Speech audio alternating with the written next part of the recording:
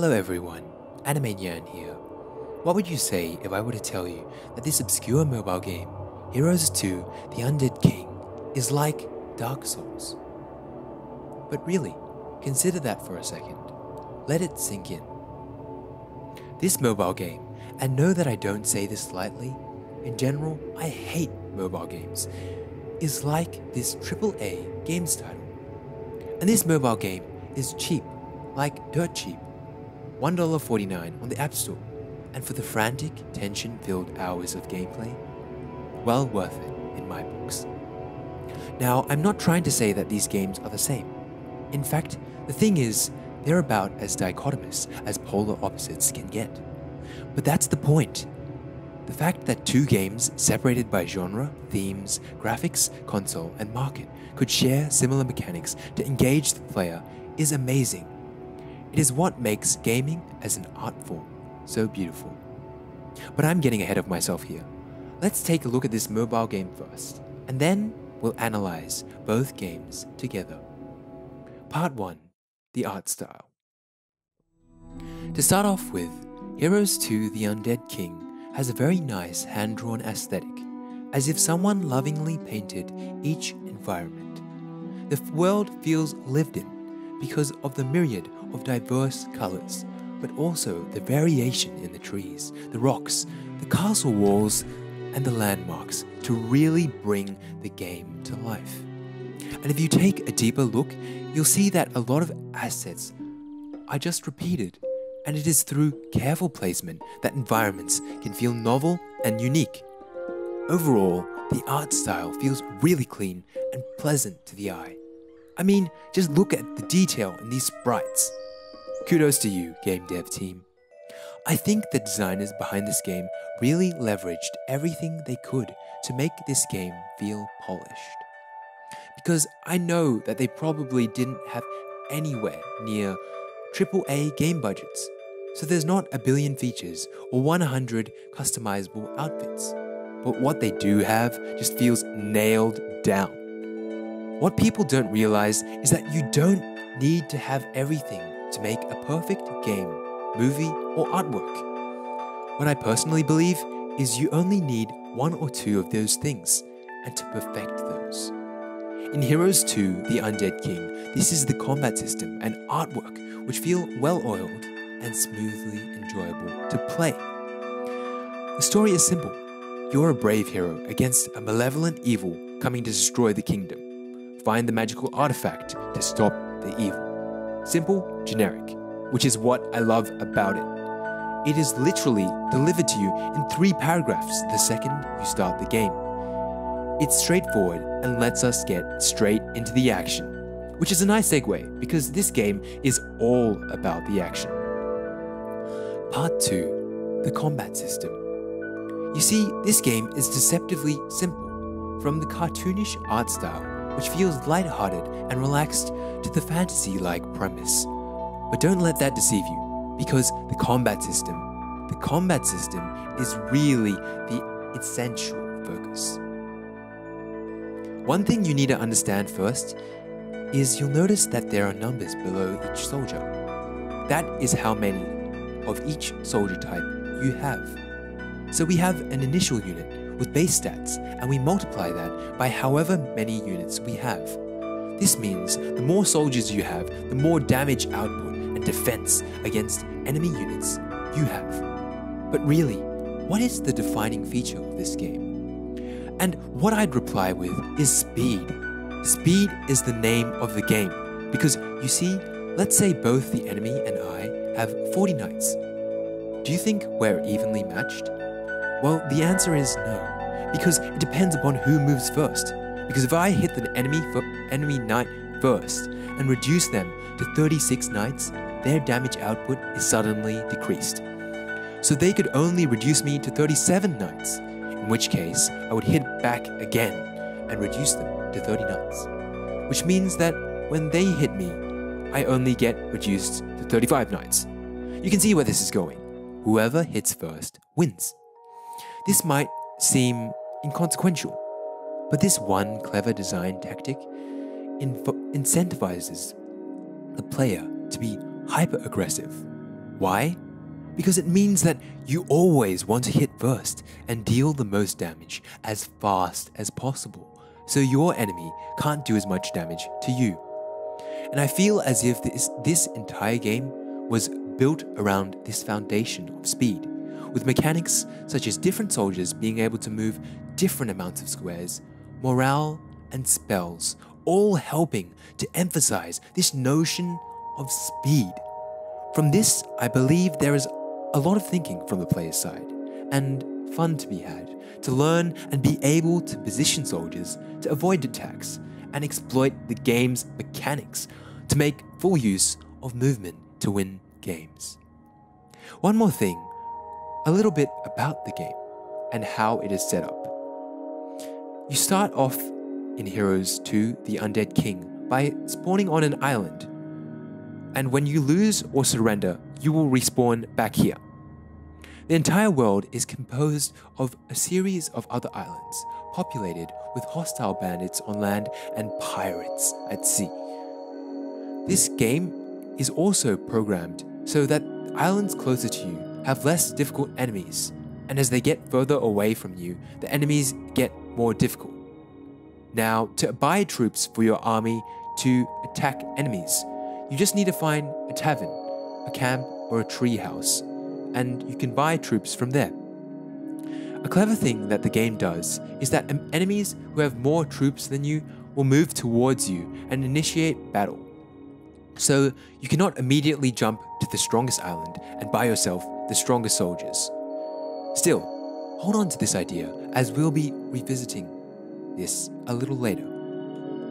Okay, now that's all I want to discuss about Heroes 2 The Undead King itself. I had some content on how this game defines health and the 7 day system, but I deemed it irrelevant and boring, so I cut it. So without further ado, let us compare Dark Souls and Heroes 2 The Undead King. Goes without saying that both games are extremely difficult and have very steep learning curves, but I want to dig a little deeper. Why are they so difficult? Well, first of all, because every enemy is like you. What do I mean? Unlike in other games, in Dark Souls, you aren't special. You have no more health than any other enemy. In fact, most of the time, you have less health.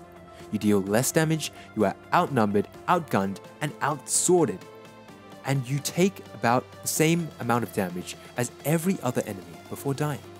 You are not Rambo, and everyone else doesn't die in one hit. You have to play tactically to outsmart them, because you are just as strong as your enemies. In fact, a lot of your foes are bigger and stronger than you. This design really fits with the game's themes, because the story of all three Dark Souls games revolves around the notion that no matter what you do, nothing changes. You are, as a chosen undead, inconsequential. Whether you light the fire or not, the cycle will continue.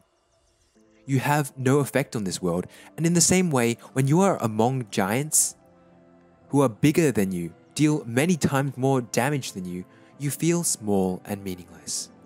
This theme is also carried into Heroes 2 The Undead King, because in every fight, your enemy can have just as many soldiers as you do, or even more, and it is up to you to play tactically to manage your resources, to buy soldiers while trying not to go bankrupt from the costs of maintaining your army, to make use of space, to pick your fights carefully, because every enemy has a chance of killing you. In this case, it lends itself to the game's environment making it seem harsh and uninhabitable. It helps add a sense of realism, and it just makes your victories all the sweeter when you do accomplish them. What else do I mean when I say that both games are difficult? Well, because they punish you with lasting consequences when you die. Which is not something that games often do, most games punish you in some form when you make a mistake by sending you back a little bit, or even helping you skip past the obstacle in your way, stopping you from moving on. Not Dark Souls. if you die twice in a row, you lose all your souls. Not to mention, in Dark Souls 2 and 3, your maximum HP gets reduced. So, besides not even helping you when you make a mistake, the game forces you to come to terms with the consequences of your actions, which seems counterintuitive at first. Because if you just failed, the obvious answer for a game developer would be to console you and encourage you to get back into the thick of it. But personally, I think this tough love mentality lends a greater gravity to each encounter. It makes each fight, even with the least interesting enemies, important and ramps up the tension because the consequences, unlike in other games, are palpable. This can also be seen in Heroes 2 The Undead King, because your soldiers do not respawn when they die. It is permanent. And if you encounter a battle you are not prepared to take, you will lose the vast majority of your soldiers forever. This creates an environment in which each battle makes your heart race, because each of your soldiers matter, from the peasants to the druids. In both games, because your actions have such an influence on things that you earned and feel a personal connection to, such as souls and gold, by grinding, by hard effort, you are motivated to play tactically and invest yourself more deeply into the games, meaning that you receive greater entertainment as a result. Another thing I think both games share is the benefit of choice. What do I mean by this? Well, both games let you take the high road and cruise through the game with relative ease. In Dark Souls 1, this is following the linear story path, killing all the required bosses, ergo gaining necessary souls to level up your character and progress, so that the enemies are roughly aligned to your level. But what you can also do in Dark Souls 1 is just skip through the game, because a lot of the bosses are optional and there are many shortcuts throughout. So if you really wanted to finish the game faster, albeit with greater with much greater challenge, you could certainly skip some of the areas entirely. A good example of this is at the start of the game, at Firelink Shrine, when you have to ring two bells. You can take the easy path to the Undead Church first, which is recommended as the enemies are much easier. Or you can take the hard path down to Quelaag's domain first by passing through the Valley of Drakes and Blighttown, which is significantly harder to get to. And what this does is it empowers the player and allows you to do what you want while feeling exhilarating at the same time. The fact that you can partially choose how your soldier goes through the game is amazing. It is the same thing with the Heroes 2 The Undead King. You can just play it safe and beat everybody on your island, gaining experience before moving onto the next island and slowly slugging it through. But remember how I said you cannot immediately jump to the strongest island and buy yourself the strongest soldiers? Well, that was false. Because through very careful maneuvering, you can, in fact, sneak past bandits and pirates of much higher level to hire soldiers of much higher quality sooner. Repeating this process of slowly sneaking behind enemy lines, hoping for a paladin, or two, or three, or a druid, or a bunch of elves is exciting. It is exciting because it is also high risk, as if you aren't careful, bandits will move towards you and initiate battles, which you cannot win at all, meaning you will sacrifice an entire week in game and your money, or your entire army. In the same way, playing Dark Souls by taking shortcuts is very difficult, as in most cases, you will die with one hit. However, it can also be its own reward by finishing the game faster and feeling awesome because you did something much earlier than any developer intended you to. These two games both allow the player to choose to take challenge, to speed through the game, presenting with greater difficulty and greater risk reward for those that wish to be challenged while also allowing for a more leveled path. But when I talk about choice in Heroes 2, I also mean zugzwang. It's a real word, I promise. It's a term that I learned from my 5th grade chess teacher. So thank you very much, my 5th grade chess teacher. It's it's a German term in chess and is a position when every move you make is a bad one. And Heroes 2 The Undead King confronts you with a lot of situations where you have to lose a soldier or must make an unfavorable move. And this makes for some really interesting scenarios where you must choose the lesser of the evils. The point is that with Heroes 2 The Undead King, it is always going to be painful. You are always going to lose health, soldiers, spells, and gold. But you must choose the better of the outcomes. And that is what I like. Because there is no evident right answer. It is up to you to solve these problems and choose. And in moments like these, this is where the game shines the brightest, as it can convey the anxiety of maintaining an army and fighting battles where the fate of victory or defeat hangs in the balance. Now, the final thing that I think both games share is mastery. Mastery in the sense that in combat, there is so much to learn and master. In Dark Souls, you have iframes in your roll, learning the rhythm, combos, and movesets of your favorite weapons, mastering parrying, memorizing scripted enemy attack patterns, and once you learn these, you realize there is so much room for improvement from when you first started. There are ways to exploit the AI so that you can improve your ability to fight them immensely. I mean, just look at how the pros do it. They sweep effortlessly through hordes of foes and eldritch entities. The achievement that comes from when you first saw a Hollow Knight which proceeded to butcher you with the simplest of attack patterns, to combating a towering demon with a complex variety of attacks, in tandem with an onslaught of other enemies, is epic. Heroes 2 The Undead King also applies this concept. The fact that you can go from an encounter where you lose all your soldiers to an encounter in which you destroy the enemy without even being touched through simple positioning is freeing because you have ultimate control over all the elements in the game and whether they end up in disaster or victory. This is also helped by the fact that you can double tap the home button and shut down the app to restart the battle from the beginning, which is slightly cheap, I would admit.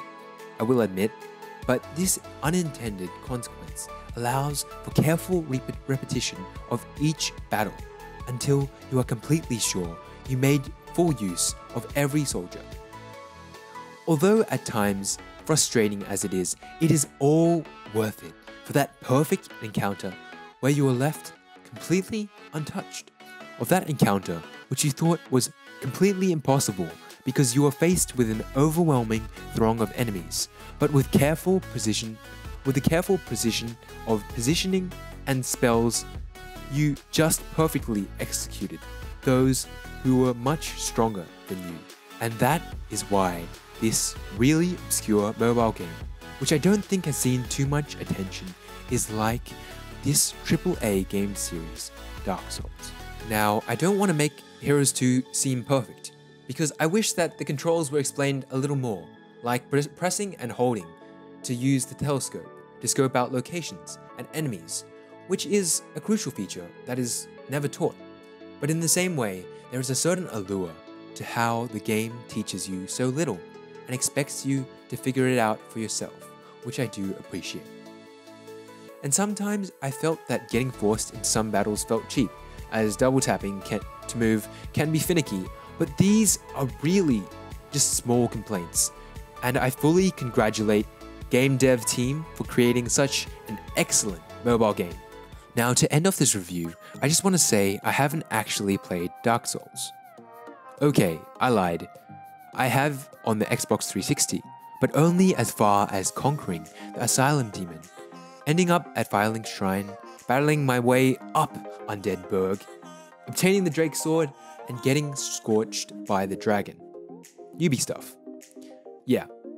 I have, however, watched my older brother play through the entirety of Dark Souls 1 about two and a bit times and play through Dark Souls 2 once. And on YouTube, that's another story entirely. Because I've watched something like 4 hours of gameplay, lore summaries of all three games, a Game Maker's Toolkit, Writing on Games, Sid Course, The Gaming Brit Show. All four of which have remarkable perspectives on the Dark Souls series. So check them out, please. Description below. Thank you very much for to everyone for being here. And I'd say that this is the most difficult script I've written to date just because of the complexity of both these games and trying to make a video which is both entertaining and informative. I've been brutal with my script. To be honest, cutting out huge portions which I thought were just boring and didn't add anything unique to this. So it's been a journey for me. Also, because I recorded this gameplay on my iPad Pro with a massive screen, so the aspect ratio is off, which isn't the best because I've actually recorded this all at higher than 1080p and forced to scale it down. But in spite of that, I hope you guys enjoyed. Thank you very much for being here. Anime Nyan out.